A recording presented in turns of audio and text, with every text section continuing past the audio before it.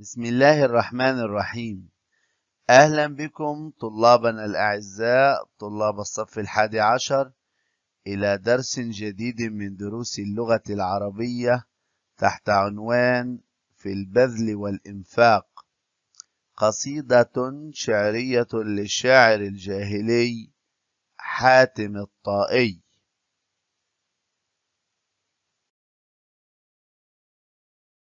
طالب الأحب. يتوقع منك في هذا الدرس أن تعرف بالشاعر موضحا مناسبة القصيدة. أن تستخلص الأفكار الرئيسة للنص وأن توضح معاني المفردات الجديدة بالنص المشروحة والمستنتجة.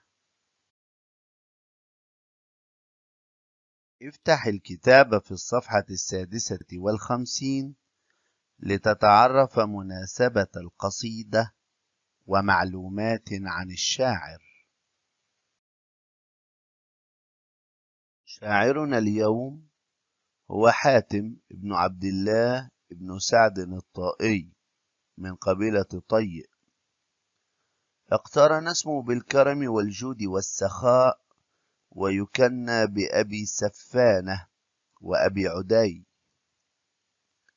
شاعر جاهلي معروف كان جوادا يشبه شعره جوده امتاز شعره بفصاحة الألفاظ ووضوح التراكيب وأهم أغراض شعره الفخر بكرمه وله ديوان من الشعر. توفي سنة ست وأربعين قبل الهجرة. ألق نظرة سريعة على الصفحة السادسة والخمسين لتتعرف النص الذي بين يديك. قصيدة من عيون الشعر العربي تصور موقفا واحدا من مواقف شعرية كثيرة دارت بين حاتم الطائي وزوجته ماوية. فيها تصوير مثالي لمروءة العربي وكرمه.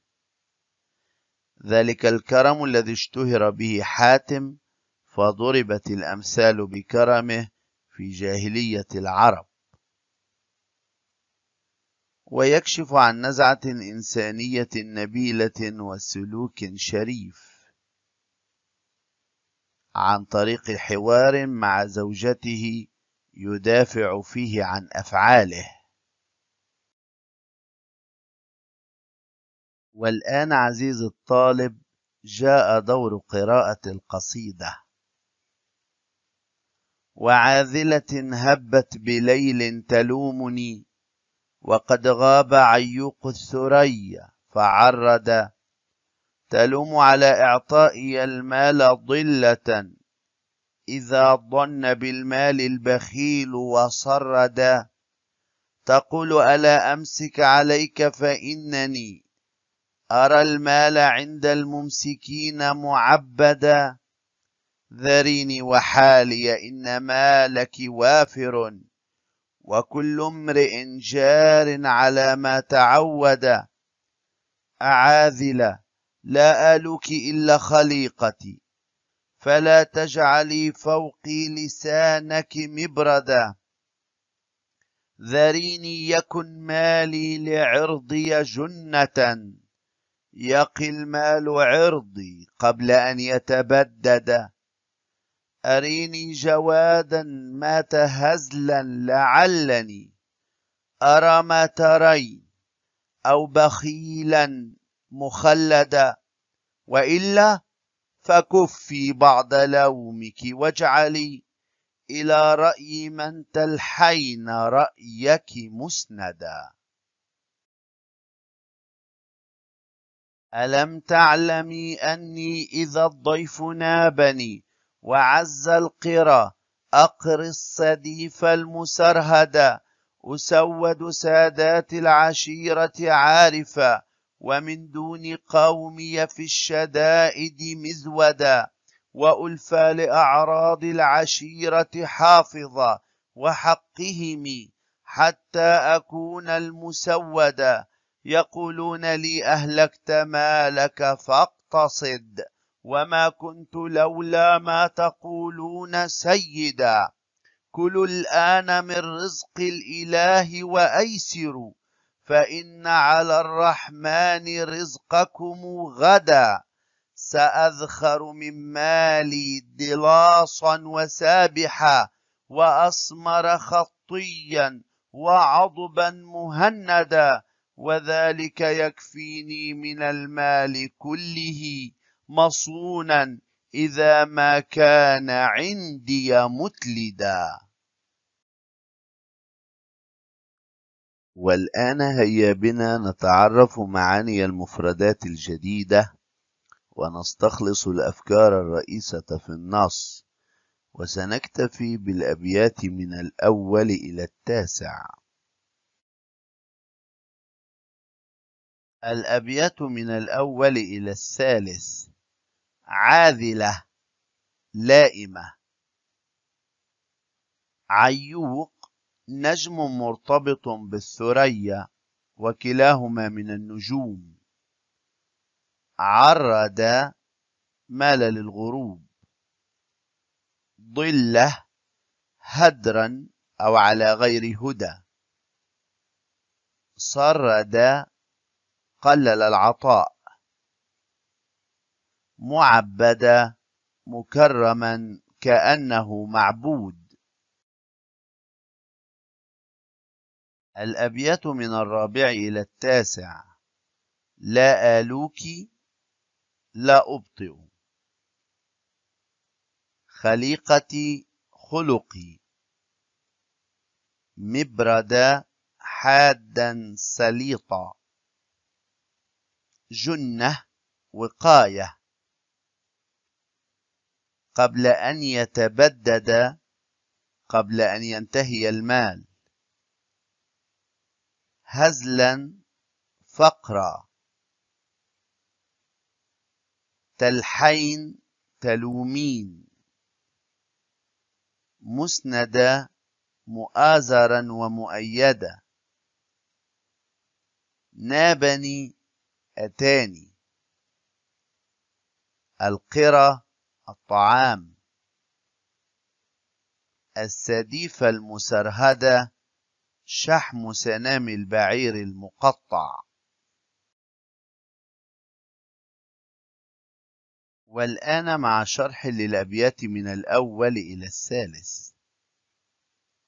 يقول حاتم الطائي إن زوجته قد قامت عليه ليلا تلومه على بذله وكرمه وتعتبر إنفاقه المال إهدارا وميلا عن الصواب وتطالبه بإمساك ماله فقد نفع المال أصحابه وصار ذخرا لهم. أرى المال عند الممسكين معبدا. والآن ما فكرة الأبيات؟ أحسنت بارك الله فيك. لوم وعتاب على عادة البذل والإنفاق.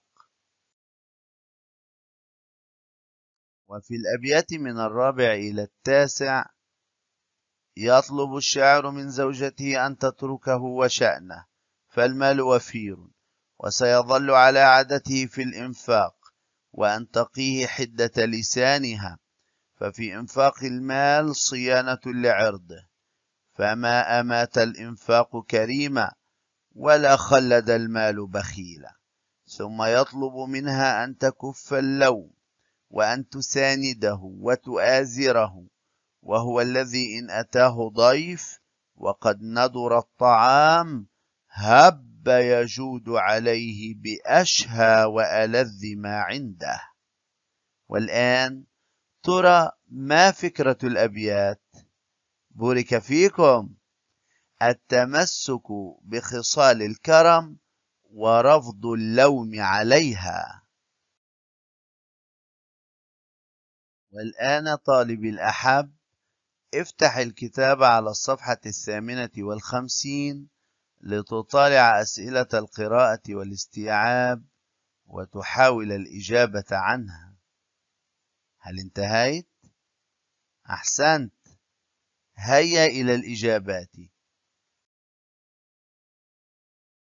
السؤال الأول. ما الموضوع العام للأبيات؟ أحسنت.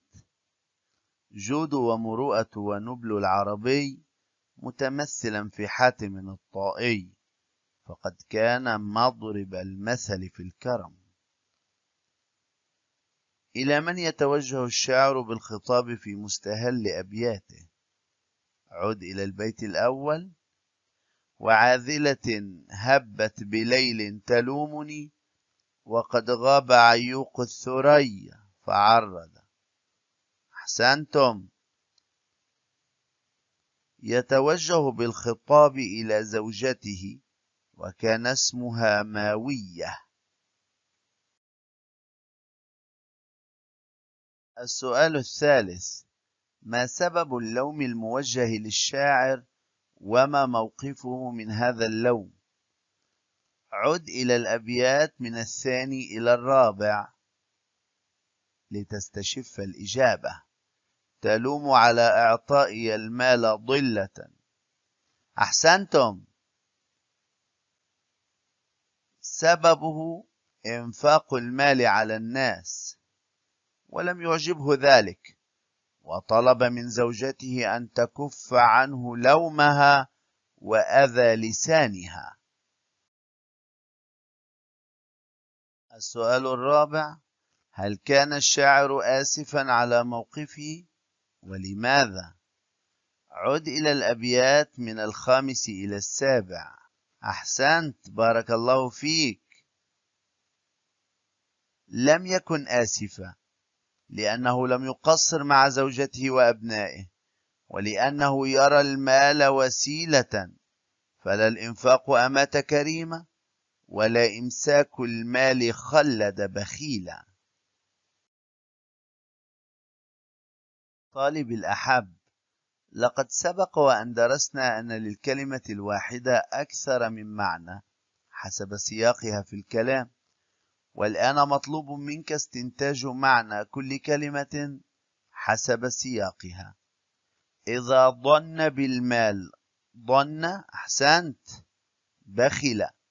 أرى المال عند الممسكين. البخلاء أريني جوادا متى هزلا. فقرا وحاجة فهزلا بمعنى ضعفا. إشارة إلى الفقر والحاجة. إذا ما كان عندي متلدا. أحسنتم موروثا. وفي السؤال الرابع في الصفحة التاسعة والخمسين يقول الشاعر أريني جوادا متى هزلا لعلني أرى ما ترين أو بخيلا مخلدا. بين معنى جوادا من خلال سياقها ثم وظفها في سياق آخر بحيث تعطي معنى مختلفا. أحسنت جواد كريم. سياق آخر عزيزي الطالب أجب بنفسك.